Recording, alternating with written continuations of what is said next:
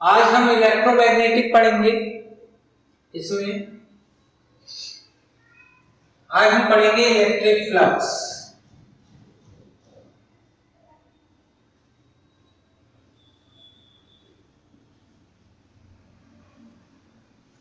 Electric flux जैसा कि हमने गॉस लॉ पढ़ा है, गॉस लॉ जो होता है, Q upon epsilon this is called Gauss law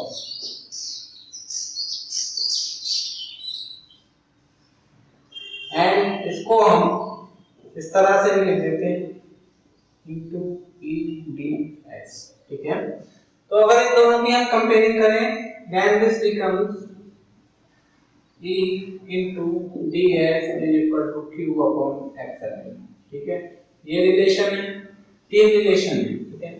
in relation का यूज़ करके हम मेनली इसका गॉस लॉ का यूज़ करके हमसे पूछता है इक्वेशन में find out the electric flux through the given cube box हमें कोई एक क्यूब दे रखा होता है। उस क्यूब में,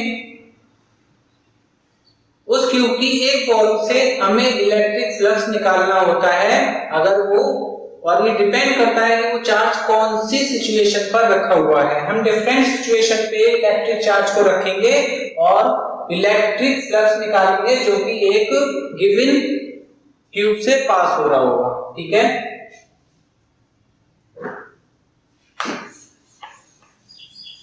जैसे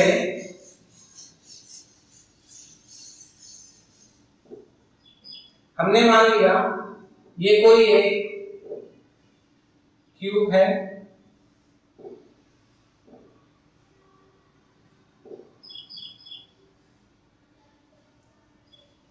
और हमने चार्ज को इसके सेंटर में रख दिया। है ठीक है?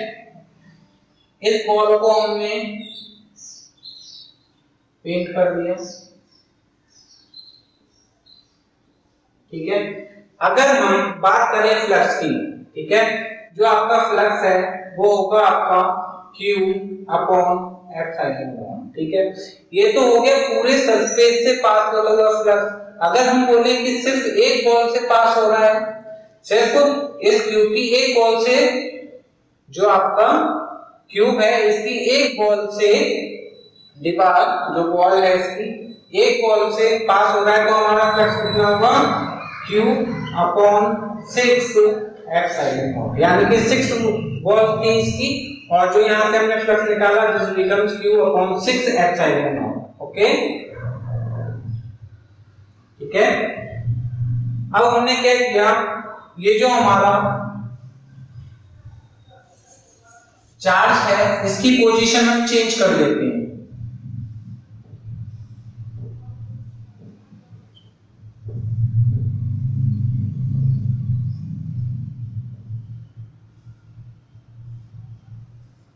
ठीक है हमने जो है चार्ज को यहाँ पर रख दिया एक बॉल के बीच में, ठीक है?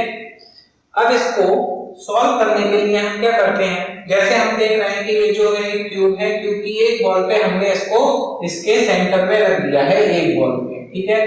तो इसी सेम साइज़ का मान लिया हमने, इसकी विड्थ जो, इसकी लेंथ जो है वो ए है ठीक है? तो इसी साइज़ का एक क्यूब इसके साइड में हम एज्यूम कर लेते हैं। ये हमने एक क्यूब इसके साइड में एज्यूम कर लिया।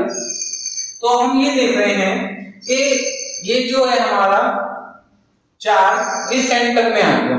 ठीक है?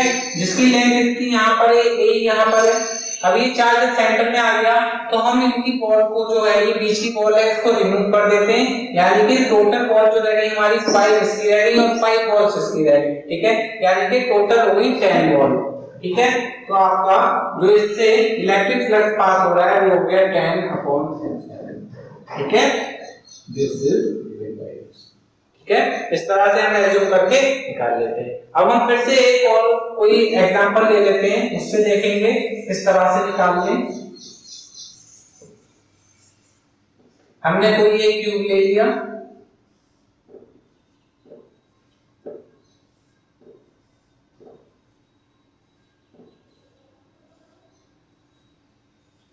और अक्की से हमने इसको यहाँ पर रख दिया। यानी कि इसके एक कॉर्नर पे हमने चार्ज को रख दिया ये क्यू चार्ज ठीक है? तो इसको हम सेंटर में लाने के लिए क्या करते हैं? एक तो हमने इसके इधर बना दिया एक क्यूब सेम साइज़ का सेम साइज़ का एक क्यूब हमने इसका इधर रख दिया, ठीक है? तो ये आप देख रहे हैं, आधा साइड जो है बीच में आ गया और आधा साइड नहीं आया है, ठीक है? तो इसको फिर से करने के लिए आप क्या करेंगे? ऊपर की तरफ़ हाँ पहले पीछे की तरफ़ की बात कर लेते हैं। ठीक है?